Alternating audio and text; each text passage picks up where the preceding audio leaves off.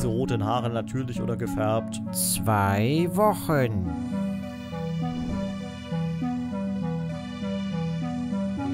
Moinsen und herzlich willkommen zurück zu Surviving Mars im Green Planet DLC. Und es ist ein Wunder geschehen. Wir haben endlich mal wieder einen Fortschritt bei den Elmsfeuern geschafft. Und zwar mehr Ausrufezeichen. Und da klicke ich jetzt mal drauf. Scientists have come forward with an experiment, hoping to improve our grasp of the WISP situation. Unsere Wissenschaftler möchten ein Experiment durchführen, das uns dabei helfen soll, die Irrlichter besser zu verstehen. Was dem Plan an Eleganz fehlt, macht er durch einfache Durchführbarkeit wieder wett. Er wird Experiment 03K64 genannt und sieht vor, dass wir einen riesigen Wassertank bauen, in dem eine noch nie dagewesene Menge Wasser auf kleinem Raum gespeichert werden kann, um anschließend das Verhalten der Irrlichter zu studieren.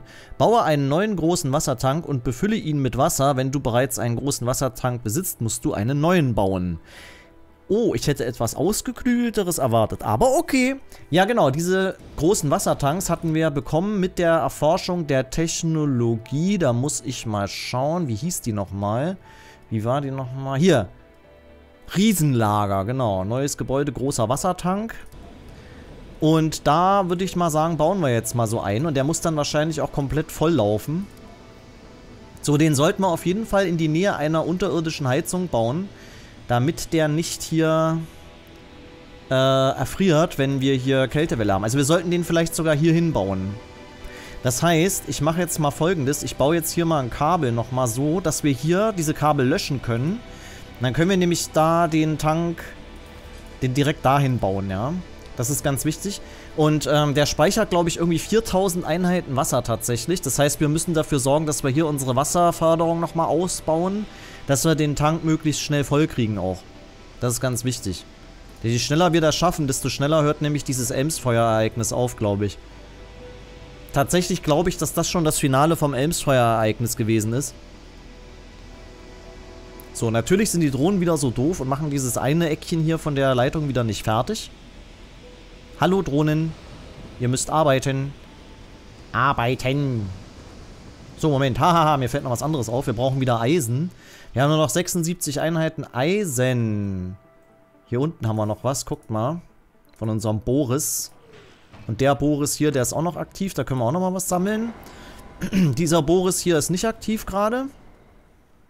Übrigens entschuldige ich mich schon mal im Vorfeld, auch bei den Leuten, die das auf YouTube gucken. Irgendwie habe ich heute einen leichten Frosch im Hals, der kommt auch immer wieder. Ich weiß nicht genau, was, das, was da los ist. Ich muss mich ab und zu mal räuspern wahrscheinlich. Nicht wundern. Ich liege nicht irgendwie im Sterben oder so. Also vielleicht ja schon, ich habe es noch nicht gewusst, aber keine Ahnung. Äh, auf jeden Fall muss ich mich ab und zu mal räuspern. Der will irgendwie nicht weggehen, keine Ahnung. Manchmal hat man so, ja wie Jan Hofer von der Tagesschau, der hat manchmal das auch. Das ist immer ganz lustig, wenn ihm dann immer so anfängt, die Stimme wegzubrechen. Und man weiß immer schon, okay, der hat jetzt wieder seinen Frosch im Hals. Das wird nichts mehr heute bei der Tagesschau, die können wir abschreiben. Ja, das ist dann immer so, dann klatschen dann immer schon die Hände kollektiv an die Stirn in der Redaktion. Das ist immer so der Moment. Der Hofer, der kriegt schon wieder nicht gebacken. Genau, das ist so das Ding. Das ist nur, das ist, das sind nur meine kleinen Problemchen heute, genau. Und äh, jetzt kümmern wir uns aber erstmal wieder um unsere Probleme in der Kolonie, meine lieben Freunde. Und wir haben hier jetzt das Eisen aufgesammelt. Das laden wir jetzt hier gleich mal ab. Da laden wir das ab, genau. Meine Aufmerksamkeit wird verlangt. Informationskriege, ach du meine Güte. Kommandant, ein unbekannter Rivale verbreitet ich hätte beinahe was anderes gelesen. Propagandavideos in unseren Netzwerken. Die Videos zielen darauf ab, die verschiedenen Klassen von Kolonisten gegeneinander auszuspielen. Manche zielen auf Fabrik- und Extraktorarbeiter ab. So wird beispielsweise behauptet, dass innerhalb der Kolonie eine elitäre Kultur herrschen würde, die Wissenschaftler, Mediziner und dergleichen bevorzugt behandelt. Das stimmt überhaupt nicht. Das ist eine Lüge. Das ist eine infame Lüge. Andere versuchen wiederum Unruhe unter den Medizinern und Wissenschaftlern zu stiften, indem sie behaupten, dass die Fabrikarbeiter für die unbeliebten Entscheidungen der Führerschaft der Kolonie verantwortlich seien. Auch das ist eine Lüge. Bis unsere Firewalls wieder einsatzfähig sind, können wir nur ein paar Kanäle blockieren. Einige werden für kurze Zeit offline, online bleiben, Verzeihung, was vielen Kolonisten die Möglichkeit gibt, sie anzusehen. Wir können es uns nicht leisten, die Arbeiter in den Fabriken und Extraktoren zu verärgern. Mediziner und Wissenschaftler verlieren für 15 Souls Moral. Die Moral in unseren Krankenstationen und Laboren hat höchste Priorität. Tatsächlich müssen wir eher die Produktion am Laufen halten. Es ist wirklich so. Denn die Forscher mal ein bisschen Moral verlieren, ist das jetzt nicht so schlimm. 15 Souls ist natürlich eine Ansage, aber wir können es uns nicht leisten, dass die Produktion einbricht. Deswegen stellen wir uns mit unseren Arbeitern gut.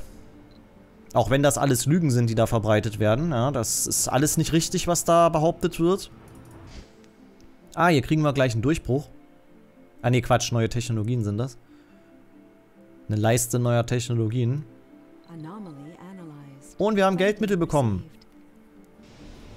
Naja, wenn wir jetzt eh wieder äh, durch die Moral, durch den Moralverlust bei den Forschern wieder weniger forschen, sollten wir auf jeden Fall nochmal outsourcen, finde ich. Ja, Tank, genau. Der Tank kann gebaut werden. Guter Hinweis, guter Hinweis, guter Hinweis. Und den drehen wir mal so, dass wir das hier hinsetzen können. Genau, so, der ist jetzt hoffentlich noch, genau, der ist in Reichweite, sodass er von der Heizung noch beheizt wird. Sehr gut. Und dann kann hier nämlich auch kein Elmsfeuerloch entstehen. Das wäre dann nämlich blöd, weil dann könnten wir den da nicht bauen. Oh, und äh, ich muss mal gucken wegen Strom. Hahaha, Strom, Strom. Wir müssen noch ein Windrad nochmal bauen, ein neues, weil, meine lieben Freunde... Oder nee, warte mal, wir bauen noch ein Sterling. Wir bauen am besten noch ein Sterling und dann vielleicht noch ein Windrad. Wir müssen nämlich dann gleich, wenn der Staubsturm in einem Sol 18 Stunden losgeht, müssen wir unsere Sterling-Reaktoren nämlich alle schließen. Und zu dem Zeitpunkt, wenn wir dann kein, keine Leistungssteigerung, keine Leistungssteigerung beim Strom haben, dann wird es eng. Dann haben wir ein Problem. Genau, bauen wir da mal noch ein Windrad auf. Also dann noch einen Sterling, noch ein Windrad. Das rüsten wir dann noch auf, genau. Und dann passt das. Dann müssten wir strommäßig ganz gut aufgestellt sein. Das Wasser hier, das ist ja am Versiegen. Diese Quelle. Die ist bald weg. Die enthält nur noch 51 Einheiten Wasser. Da müssen wir das dann schon abreißen. Das heißt, wir müssen dann hier die Quelle umso stärker ausbeuten, damit wir den Tank überhaupt voll kriegen. Das wird auch so eine Sache. Und danach haben wir nur noch gespeichertes Wasser, weil dann wird diese Wasserquelle auch weg sein. Dann müssen wir eigentlich mal anfangen, hier unten das Wasser zu erschließen. Genau, jetzt sind Polymere im Lagerstand niedrig. Dafür haben wir nochmal einen Sterling. Und das Windrad ist fertig. Das rüsten wir jetzt auch gleich auch, auch wenn es Polymere kostet. Das machen wir jetzt direkt. So, der Wasserspeicher ist am Start, meine lieben Freunde. Er ist am Start. Der zuzelt jetzt hier natürlich diese Quelle leer. Das sehen wir jetzt hier auch. Ja. Die wird jetzt hier leer gezuzelt. Das muss man sich vorstellen wie so ein Strohhalmgeräusch. So. Wie wenn ich einen Milchshake wegschnuckel, dann klingt das genauso. Genau so klingt das dann. Und die Elmsfeuer, die rotieren da natürlich auch drumrum. Ah ja, da ist es leer, genau. Gebäude mit erschöpften Vorkommen. Lasst uns die gleich mal abreißen hier. So, jetzt haben wir Wasser minus 6. Ihr seht das schon. Das ist natürlich nicht so geil, da müssen wir gegenhalten. Und zwar müssen wir hier mit einem weiteren Extraktor gegenhalten auf jeden Fall. Ganz dringend und ganz wichtig. Ganz wichtig, ganz dringend. So, schön mit Strom versorgen. Ich will diese Elmsfeuer endlich loswerden. Ich will die loswerden. Wasserverlust minus 1. Die Elmsfeuer ziehen jetzt natürlich auch noch ein bisschen was ab. Ah, sie haben sich schon wieder zurückgezogen. Alles gut. Alles gut, alles gut.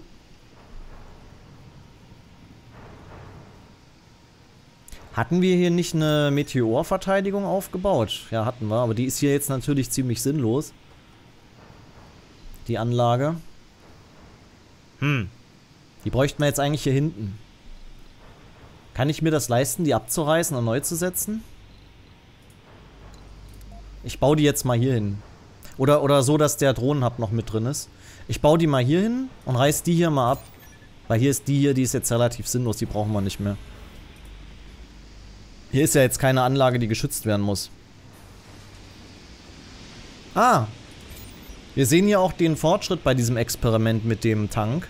3% Fortschritt, weil wir natürlich den Tank gerade mal mit 3% Wasser gefüllt haben. Das heißt, wir brauchen dringend hier noch diesen Extraktor, sonst geht es nicht weiter. Vielleicht sollte ich mal, ich mache jetzt mal folgendes, meine lieben Freunde.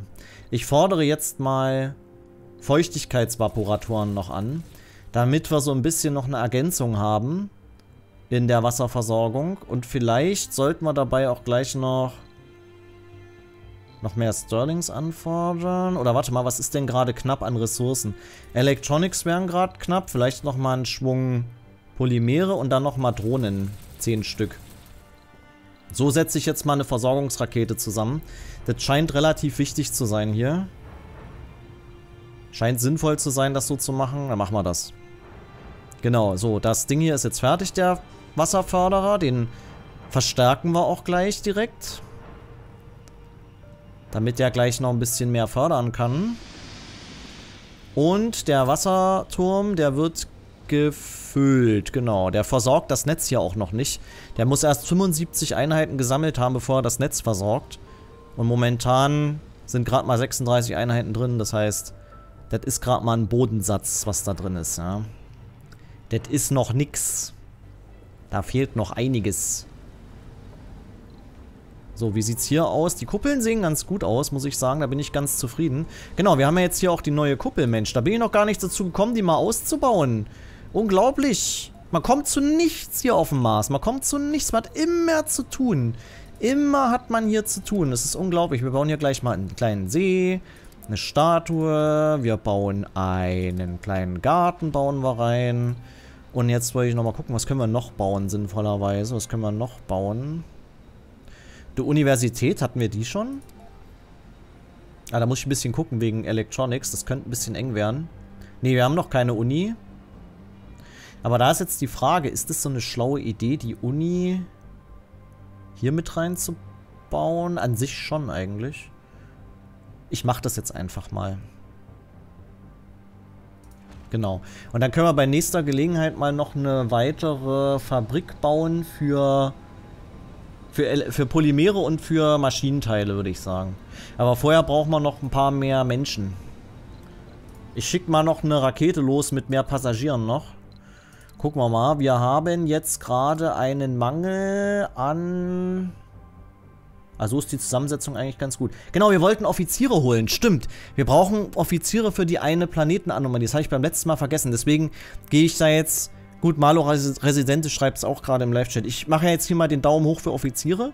Dann haben wir nämlich auch mal Offiziere und dann können wir nämlich diese Mission machen. Wunderbar. Kriegen wir wieder Forschungsfortschritt trotzdem starten. Mit der roten Rakete, rote Rakete, rote Rakete. Rote Rakete. Schöne rote Rakete. Genau. Denn wir sind ja hier immer noch mit Russland auf dem Mars. Russland. Deswegen sind die Gebäude so schön rot-weiß. Esst ihr gern rot-weiß, meine lieben Freunde, dann kommt nach Russland. Russland. Oh, scheiße. Es äh, sind, die Ressourcen sind low. Äh, okay, warte, warte, warte, warte. Wir machen das mal so. Wir sammeln mal hier in der Gegend mal die Metalle auf und dann lassen wir die mal hier oben abladen. Ganz wichtig. Denn hier ist schon ein ganz schöner Mangel wieder am Start. Oh, ah, Treibstofflager muss auch neu gebaut werden. Wir brauchen mehr Lagerkapazität. Und ähm, ich ahne es schon, einige werden jetzt wieder schreiben von wegen, bau doch die großen Lager. Kann ich nicht. Ja. Doch, kann ich doch. Kann ich wohl. Warum kann ich denn das? Normalerweise kann man das nämlich nicht so früh. Das muss von Russland eine Spezialfähigkeit sein. Oder haben wir das schon erforscht? Habe ich das schon erforscht? Oder habe ich das von Anfang an gehabt? Manche Fraktionen haben das von Anfang an. Ich glaube tatsächlich, ich habe das schon von Anfang an. Okay, dann äh, würde ich sagen, Streicht, was ich gerade gesagt habe, meine lieben Freunde. Dann würde ich doch mal sagen, wir bauen einfach mal so ein treibendes Stofflager. Direkt dahin. Dann können die Treibstofffabriken gleich direkt alles da reinpacken. Ja, wenn da mal was eng werden sollte. Allerdings ist es natürlich auch so, das muss ich auch mal korrigierend erwähnen, die Depots machen schon auch Sinn. Es ist nicht so, dass man nur diese großen Lager bauen sollte ab einem bestimmten Punkt. Denn die Depots, die sind für die Verteilung ganz gut. Du willst ja zum Beispiel so ein Lager, das nimmt ja auch Platz weg. Du willst zum Beispiel nicht deine Kuppeln rundum mit diesen Lagern vollpflastern und dann nicht mehr Platz haben für zum Beispiel Polymerfabriken und andere wichtige Sachen. Da lohnen sich die kleinen Depots tatsächlich mehr, weil da kann eine relativ solide Menge relativ nah an die Verbraucher platziert werden. Und damit ist das besser für die Verteilung. Ja, also diese kleinen Depots sind dann für die Verteilung ganz gut. Deswegen baue ich diese Treibstoffdepots auch gerne in die Nähe der Landeplätze, weil dann die Raketen schnell betankt werden können. Ja, deswegen mache ich das. Kurze Wege und so. Ist gar nicht so schlecht. So, in fünf Stunden beginnt der Staubsturm. Da müssen wir uns jetzt auf jeden Fall drauf einstellen, dass unsere Solarpaneele dann nicht aktiv sind und unsere Sterlings können wir dann auch schon verschließen dann. Und vielleicht sollte ich dann in der Zeit nochmal nicht benötigte Gebäude deaktivieren. Das könnte ganz schlau sein. Ja, das war das, äh, das war die Treibstofffabrik, die nicht funktioniert hat. Es wird gerade nochmal erwähnt, weil das Lager voll war. Alles schon wieder gut, alles schon gesehen und gelöst. Ein Kolonist hat Heimweh, das kleine Schweinchen wird dann wieder abreisen. In einer Stunde beginnt der Staubsturm, da können die Raketen nicht landen, oh Gott. Hoffentlich dauert der Staubsturm nicht so lange. Alles klar, er beginnt jetzt. Ich mache jetzt die Sterlings schnell zu. Mit Control gedrückt halten schließe ich sie alle. Genau. Alle sind zu. Und er beginnt. Zwei Souls, elf Stunden, das ist okay. Das, das sollten wir eigentlich überleben, hoffe ich. Ja, wir machen sogar noch ein leichtes Plus an Energie, weil jetzt natürlich die Windräder wieder ein bisschen aktiver sind. Okay, jetzt machen wir keinen Plus an Energie mehr. So viel zu dem Thema. Ah, was ich auch noch vergessen habe, einen großen Sauerstofftank bauen. Oh, hoffentlich wird uns das jetzt nicht das Genick brechen.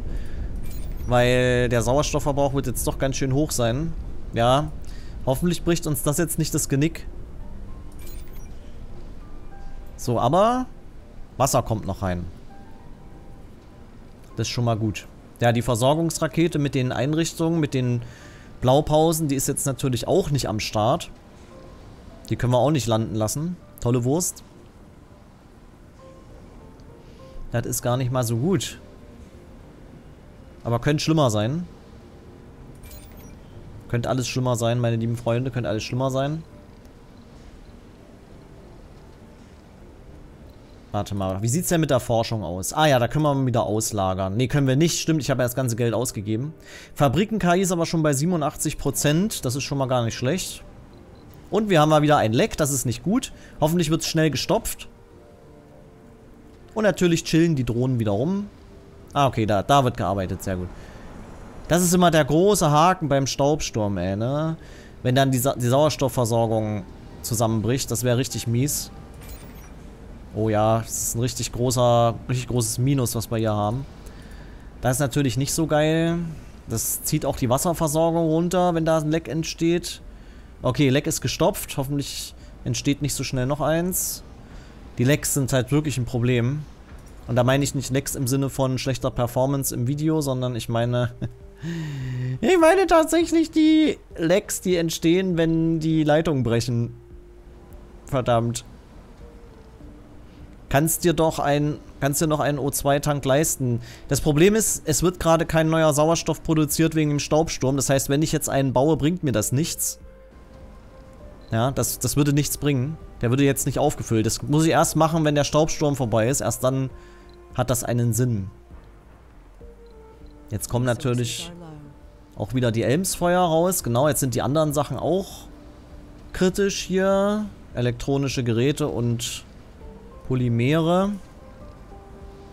Polymerski. Wie sieht es energiemäßig aus? Das geht gerade noch. Wobei ein weiteres Windrad wäre jetzt auch nicht so verkehrt, ehrlich gesagt. Wir könnten es jetzt nur nicht so easy aufrüsten, wegen, wegen Materialmangel bei Polymeren. Die brauchen wir ja auch für die Wartung von den Akkus. Die Akkumulatoren müssen mit Polymeren gewartet werden, deswegen ist das ein bisschen kritisch manchmal da, was das angeht. Dieses Universallager ist jetzt natürlich nicht mehr vom, vom Laser geschützt. Das ist natürlich jetzt ein bisschen doof. Mir fällt aber auch irgendwie nicht ein, was ich hier noch hinbauen kann, dass es sich ein Laser hier an der Stelle lohnen würde. Ist halt scheiß Gelände hier, so ein bisschen. Schon wieder ein Leck. Oh Mann. Diese scheiß Lecks. Wo sind die Lecks? Okay, das sollten sie aber schnell beheben können, hoffe ich. Sind sie dran? Tut was. Tut doch was. Verdammt. Wir brauchen wieder Metall. Dringend. Dringend, dringend, dringend. Es geht da. Oh, Alter, wir haben kaum noch Metall. Das wird voll rausgezogen gerade. Heilige Scheiße. Ich sollte mal den anderen Boris... Wisst ihr was? Den lassen wir jetzt mal direkt hier bohren. Den anderen Boris. Den Bohrrover. Der kann mal direkt diese Ressource ausbeuten. Ist jetzt egal, wenn da nur 50% rauskommen. Immerhin hat diese Quelle hier 1000 Einheiten. Das ist jetzt erstmal egal. Hauptsache, wir kriegen da schnell Metall. Wir haben hier nichts mehr, ey. Wir können nicht mehr warten. Also im wahrsten Sinne des Wortes. Wir können nicht mehr warten mit der Wartung. So rum. Gleich fallen hier nämlich alle Anlagen aus, die auf Metall basieren, wenn das hier nicht schnell am Start kommt. Und ihr könnt das, das ist jetzt der Vorteil, ihr könnt die Drohnen das nämlich auch direkt abtransportieren, wenn das hier entsteht. So, die Rakete mit den Vaporatoren ist jetzt angekommen. Ein Sol und acht Stunden geht der Staubsturm noch. Heilige Macaroni. Komm. Sammel es schnell. Sammel es auf. Jawohl. Sauber. Sehr gut. Wie viel ist denn das? 19 Einheiten. Oh Gott. Wir brauchen mehr. Wir brauchen viel mehr. Wir haben gerade nur ein Leck im Stromnetz. Das ist noch verschmerzbar, aber ist natürlich auch nicht so geil am Ende des Tages. Schon wieder ein Leck. Ah, scheiße. Oh, der Sauerstoff, er wird weniger. Und noch ein Sol-Staubsturm. Hoffentlich kommt danach nicht direkt eine Kältewelle. Ja, Fabrik-KI. Fabrik-KI ist fertig. Gucken wir gleich mal. Was können wir hier gleich noch einreihen? Lasst uns mal das hier noch mit einreihen. Fabrik-KI ist durch. Da können wir gleich mal eine Fabrik upgraden. Wo lohnt sich das am meisten? Das lohnt sich eigentlich am meisten hier bei der Elektronikfabrik, weil da haben wir nämlich die meisten Defizite hier. Da müssen wir aber erstmal die Rakete landen lassen mit den Electronics, sonst haben wir hier direkt einen Mangel. Das heißt, das können wir erst machen nach dem Staubsturm. Dann können wir direkt das KI-Upgrade durchführen. Komm, komm, komm. Zieh durch. Ja, genau. Hau die mal hier raus, die Metalle. Sehr gut. Wie sieht eigentlich der Horizont aus bei so einem Staubsturm? Ich mach mal hier die ganzen Hinweise weg. Ja, man sieht da so einen marsianischen roten Dunst. Wow. Gott, habe ich mich erschrocken. Roter Dunstschleier. Oh Gott, alle Ressourcen sind gerade low. Alles ist low, alles ist low. Ja, nicht alles, aber viele Sachen. Sauerstoff ist auf der Hälfte. Wir brauchen wirklich noch so einen großen Tank ganz dringend, ey. Ganz, ganz, ganz dringend. Toll, der Wassertank ist jetzt auch leer, weil wir hier nur Lecks haben gerade. Weil wir nur Lecks haben. Das ganze Wasser geht weg, ey. Scheiße. Scheiße. Da haben wir eine Anomalie. Schnell hin. Es könnte ein Durchbruch sein, ein wichtiger. Nein, du doch nicht. Du sollst da bleiben. Warte, der andere hier. Der, der direkt daneben an ist. Der soll da hingehen. Los. Schnell. Haben wir eigentlich... Was ist eigentlich der letzte Durchbruch gewesen? Ach ja. Berufsorientierte Gesellschaft. Stimmt. Es wäre mal geil, einen Durchbruch zu haben, dass die Leitungen nicht mehr gewartet werden müssen. Das wäre mal ein geiler Durchbruch an der Stelle. Das hätte ich mal gerne. Das wäre mal richtig gut. Der würde sich vor allem richtig lohnen. Ah, wieso bist du pausiert? Du darfst nicht Pause machen hier. Faules Stück. Fahr dahin. Sammle Eisen. Los. Tu es. Tu es. Oh Gott. Okay, das Leck ist gestopft. Ja, so ein Staubsturm ist äh, immer eine helle Freude auf jeden Fall. Vor allem... Ja, 1000 Einheiten Wasser sind hier schon weg. Die sind einfach verpufft. Tolle Wurst. Ah, ich habe übrigens Quatsch erzählt vorhin. Ich habe vorhin gesagt, er hat hier eine Kapazität von 4000. Der hat eine Kapazität von 1500. Verzeihung. Ich hatte irgendwie noch 4000 im Kopf. Aber 1500 ist auch schon eine ganz schöne Menge. 12 Stunden noch Staubsturm. Okay, strommäßig sind wir aber ganz gut durchgekommen, muss ich sagen. Es hätte deutlich schlimmer ausfallen können. Da können wir gleich nochmal das Windrad upgraden jetzt. Ja, die Windräder produzieren halt auch mehr Strom, wenn es staubt. Diesen komischen Stromdings da, dieses kleine Schniepelchen da vorne, das können wir mal wegmachen. Das ist nur, erhöht nur die Wahrscheinlichkeit für weitere Ausfälle. Das ist nicht so gut. So, neun Stunden noch. Neun Stunden. Neun Stunden Staubsturm. Lasst uns hier mal auch noch eine Deponie hinbauen. Am besten hier so neben den Landeplatz. Das ist vielleicht gar nicht so schlecht. Dann können die Drohnen mal hier die Abfälle von dem Förderer direkt hier ablegen. Der müllt hier sonst alles zu. Sehr gut, sehr gut, sehr gut, sehr gut, sehr gut. Sechs Stunden, fünf Stunden. Wie das echt Metall rauszieht hier. Metallverbrauch 7, Metalle für Wartung 2. Also wir müssten eigentlich auf eine Produktion... Reibungsfreie Verbundwerkstoff. Oh, bitte sag mir, dass das was zu tun hat mit den Leitungen. Boah, was? Stromerzeugung von Windrädern um 100% erhöht. Holy Macaroni-Soße. Alter Schwede, das müssen wir sofort machen. Dann das. Und äh, dann das. Und dann... Was wollten wir noch machen? Jetzt habe ich es wieder vergessen. Irgendwas Tolles. Wasserextraktion aus der Tiefe, genau. Reibungsfreie Ver Das ist richtig geil. Das ist richtig geil. Das wird uns einiges an Stress ersparen, meine lieben Freunde. Wenn wir hier doppelt so viel Energie produzieren. Das würde bedeuten, ein Windrad im Staubsturm würde produzieren 51 Energie. 51! Wir bräuchten nie wieder Sterlings bauen im Staubsturm. Wir bräuchten nichts anderes mehr außer Windräder eigentlich. Wir würden unsere gesamte Energieproduktion komplett verdoppeln, Alter. Nicht schlecht. Das ist richtig geil. Das ist richtig geil. Das ist richtig geil. Sektor C8, 42k. Was? Sektor C8? Wo zur Hölle ist C8? A9? G8? G5? F, E, D, C8. 42.000 Wasser. Ja, aber unterirdisch. Da brauchen wir erstmal die Technik, um das zu fördern, lol. Das ist ja unterirdisches Wasser. Das bringt mir jetzt ja noch nichts. Das hier ist erstmal wichtiger, die 6300 Einheiten. Die können wir nämlich tatsächlich fördern. So, jetzt können wir aber erstmal hier die Raketen landen lassen, genau. Jetzt ist der Staubsturm schon mal vorbei, das ist ganz wichtig. So, Raketen sind da, Versorgung ist da, mehr Drohnen sind da, mehr Menschen sind da, alles mehr. Mehr, mehr, mehr, mehr, mehr.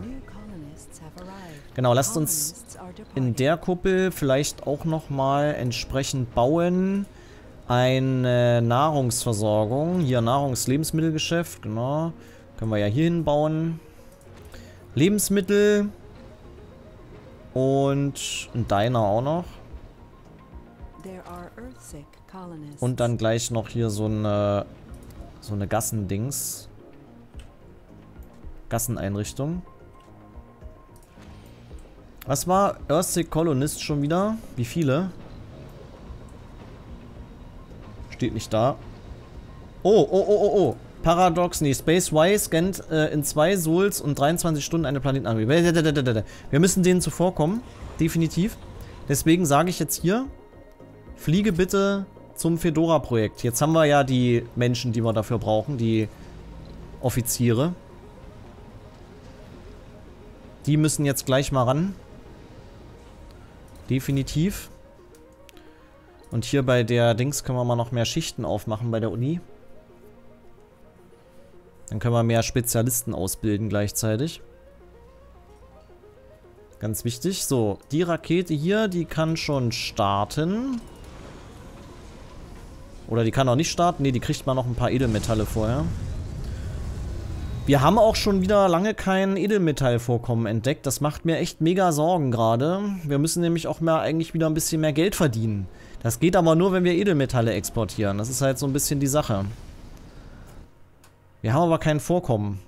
Das hier sind ja nur Kuppelbauplätze, die sich lohnen für einen Komfort. Aber das sind ja keine Edelmetallvorkommen.